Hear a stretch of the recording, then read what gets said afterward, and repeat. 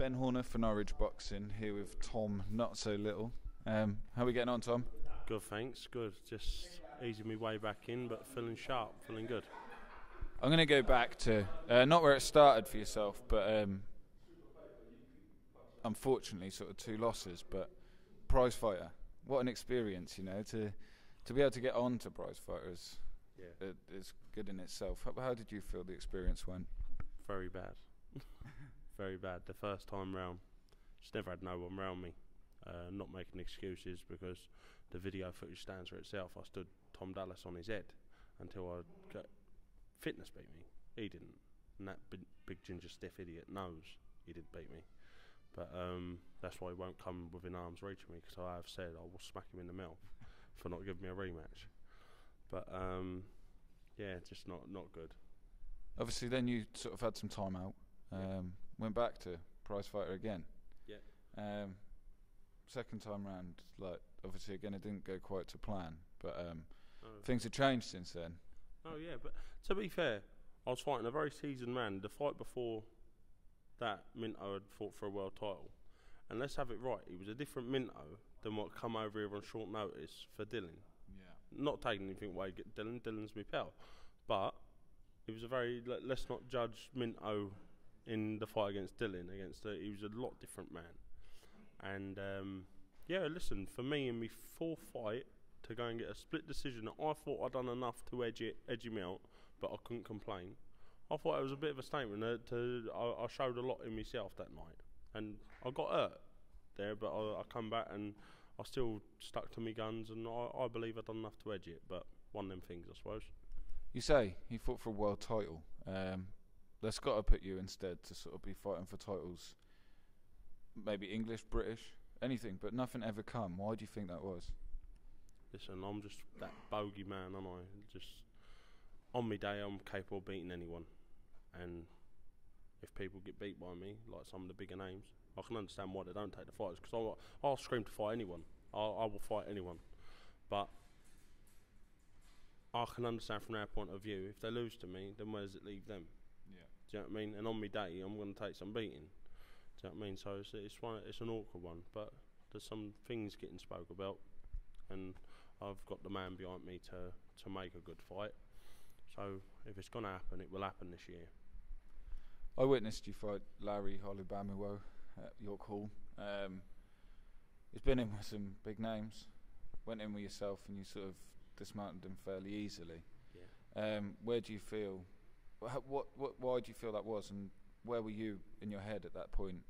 Well, listen, I've got a bit of a vendetta against Gary Cornish, and I knew he towed Gary about for eight rounds. Hit Gary on the chin, hurt him. I never had no qualms about or had no dispute in my own head that Gary Cornish is a big shitbag, right? But I wanted everyone else to see what shitbag he was when little old me comes out. I knew, I listen, I knew Larry was not going into the third round. I knew for 100% fact he wasn't. I get on well with Larry. Me and him, are, you've seen me and him in interviews me and him are friends. But listen, I knew he was not there and he was not going to be there come the end bell. But um, that was all I wanted to do. I, w- I never had a nake against Larry. I just wanted to prove that the people that he had towed about for eight or six rounds or whatever not, I wanted to prove that he weren't going nowhere with me. Top of the British division, uh, Anthony Joshua. Um, where do you see him going? Um, like, what did you make of his performance against Dillian Whyte? he got showed up. Hey, listen, a lot got showed about him there, and I've said for a long time, you take him, you take gas bottle legs, past four rounds, he will stiffen up, and he will not be the same man. The only thing that Dillian done wrong, and I'm not criticising him because listen, he, he he showed him up. Josh can't hold a body shot, cannot hold a body shot. He he him with that, but he went too competitive too early and then like you get caught. And when you get caught, even on the arms, like, it takes a bit out of you. And he got he blowed out a little bit. You know what I mean? And the push, punches, it, was a tactical, a little bit of a tactic. But I'm under understanding that Dillian hurt his shoulder when he Dillian caught him with the early with the with a hook. But listen, Mervyn got that right. He is open for an hook. He is open for an hook. But yeah, I don't like him.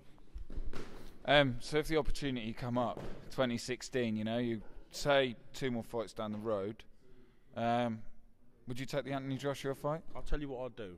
Right, if he wouldn't saying a belt and just let me sort out what I've got to sort out now, in the summer, right, we're both Hertfordshire boys. I will fight him in Watford Football Stadium. I will fight him in Watford, in his own town. I will pull his trousers down and I will beat him all round Watford, if he wants. But listen, I have screamed, I have begged, I have pleaded for the fight. When he was a two-fight novice, I asked for the fight. I asked for the fight for peanuts, for peanuts, just to show him up because I knew I'd get a big fight out or a good deal.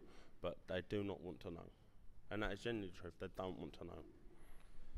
Going away from yourself a little bit, Billy Joe Saunders, now world champion. Um, well? GGG fight keeps getting spoke about. Where do you where do you think Billy sort of stands in the in the standing with that? Do you think that'll come off? if they offer Billy enough money, if they offer him enough money, he he will take it. And let me tell you something. Knowing him from being a child, he's not the boy you would ever bet against. Never bet against him, because he's just listen. I do generally believe if you shot that boy in the face, he'd still live and come out on top. You know what I mean? But it's an hard fight. It's an hard ask.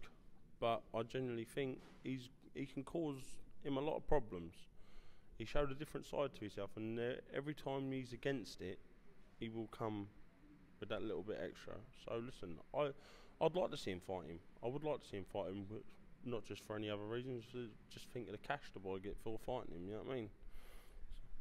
Maybe 2016 is going to be a year that, that that them sort of fights can start rolling for you. Maybe obviously not sort of on the world stage, but the British stage. Anthony Joshua. Um, where would you like to see yourself at the end of 2016? Well, listen, I've promised my fans New Year's night. I promised, well, the little few fans that I have got, I've promised them by the end of 2016 I will be British and Commonwealth champion.